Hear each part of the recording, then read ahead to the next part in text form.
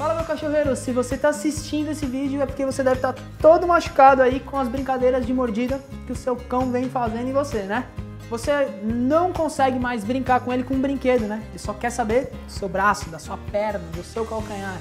Seu cachorro só sabe brincar de morder e você tá achando até que legal isso? Muito cuidado, isso pode ser muito ruim para o seu cachorro e para você.